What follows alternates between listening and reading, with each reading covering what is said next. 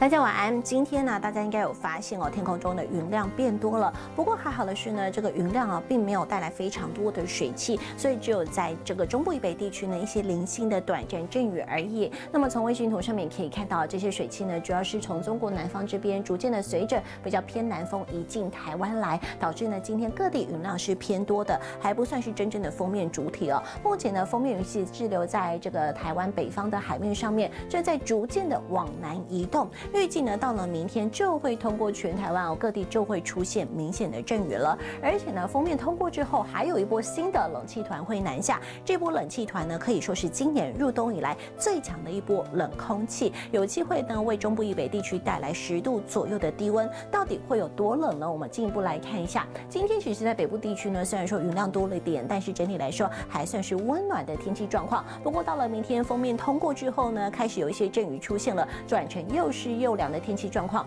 低温降到十五度，高温大概来到二十度左右。而到了初三开始呢，可以看到会是一连的大概五天六天左右呢，都会是一段相当寒冷的这种天气状况哦。而且气温呢，一天比一天还要再冷。可以看到初三、初四、初五，一直到初五以及初六的时候呢，大家要返回工作岗位的时候，北部地区的低温就会下探到只有十度到十一度左右，高温也只有十四度左右了。而且呢，是维持一段比较长时。间寒冷的感觉，所以要特别提醒小朋友，还有一些老人家哦，有一些心血管疾病的患者，务必要多加注意这样子长时间寒冷对于身体的影响了，一定要提前做好一些防寒的准备，一些保暖的衣服要赶快的准备出来穿了。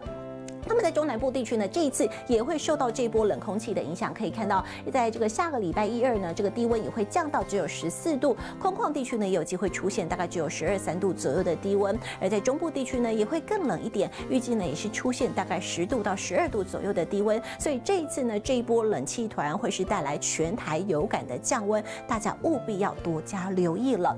再来看一下降雨的部分了，刚刚提过了，明天会受到一波封面云系通过的影响，会是全台各地都。都会出现明显的阵雨，所以明天呢提醒您出门一定要记得携带雨具。好，那么呢这样降雨的情况呢，到了初三水汽就会逐渐的减少了。不过因为接下来是吹着东北风哦，所以在迎风面的北部跟东部地区呢，初三、初四、初五仍然是属于这种比较湿凉的感觉。特别是初三到初四哦，迎风面的北部、东部地区呢，水汽还是蛮多的，会是感觉呢这个又湿又凉的天气形态。出门要记得携带雨具。那么在中南部地区呢，从初三开始就会。逐渐的转成比较偏干的天气状况，干冷的天气了。